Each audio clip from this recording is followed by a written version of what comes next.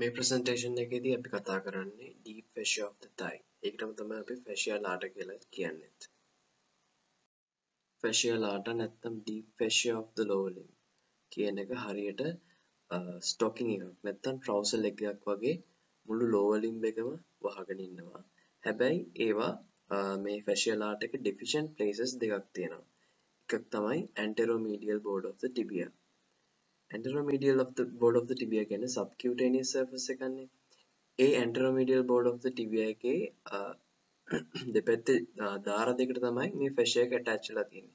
ඒ නිසා anteromedial board of the tibia එකට උඩින් fascia ලාට එක නැහැ ඒක උඩින් තියෙන්නේ skin and superficial fascia. හරිද?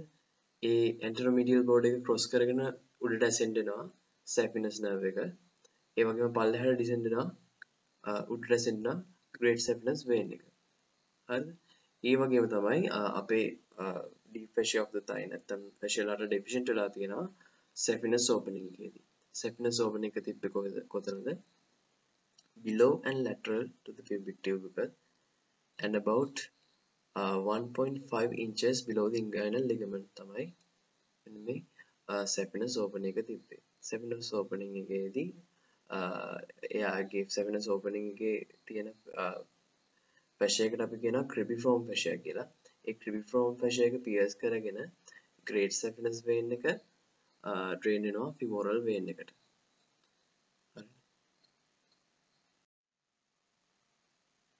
අපිට fascia ලාට එකේ attachment කතා කරන්න පුළුවන් superior and inferior කියලා කොටස් දෙකකට බෙදලා.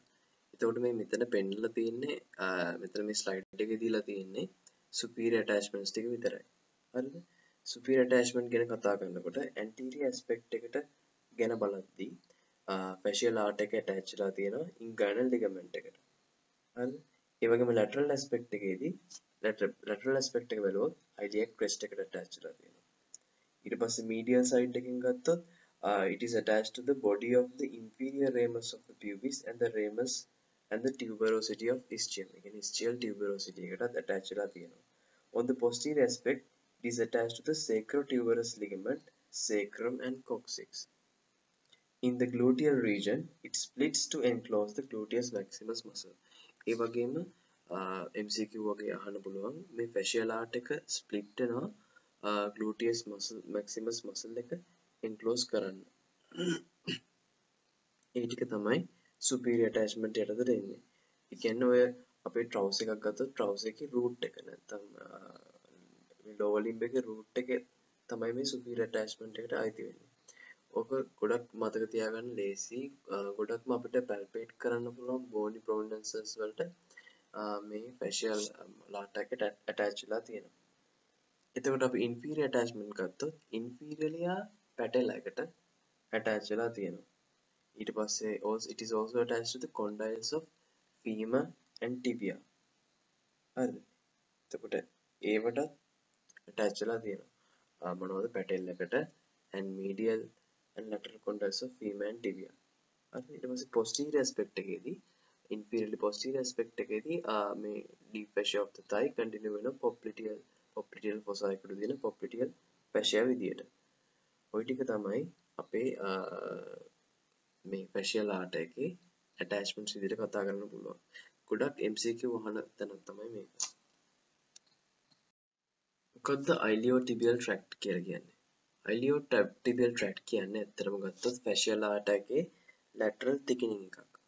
laterally තියා thicken වෙලා තමයි මෙන්න මේ iliotibial tract එක හදන්නේ. iliotibial tract එක superiorly attach වෙලා තියෙනවා iliac crest එකට. ඒ වගේම inferiorly attach වෙලා තියෙනවා lateral condyle of tibia. හරිද?